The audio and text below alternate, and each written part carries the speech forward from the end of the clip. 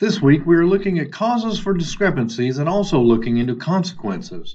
There are times when our processes and procedures build in punishment or negative consequence for high performance. Conversely, if there are no negative consequences for poor performance, this can be a negative impact on performance as well. Some call this positive reinforcement for negative behavior. The longer these mismatches happen, the tougher they are to change. Mager and Pipe this week give us several examples in our reading. Have you seen consequences that hurt performance rather than help performance?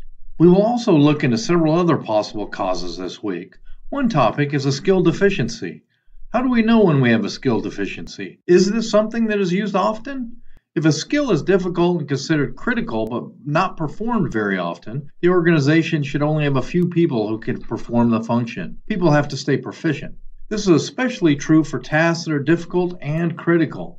For task analysis, we measure frequency, criticality, and difficulty. When analyzing performance problems, you will also have to investigate if the people were able to perform properly previously and if a task can be simplified. We start building our case study this week also. You will be asked to identify the key issues in the case that you select. Mager and Pipe give us some great advice on how to go about this. We will be using our discussion forum this week to help define the key issues and hopefully gain insight from one another.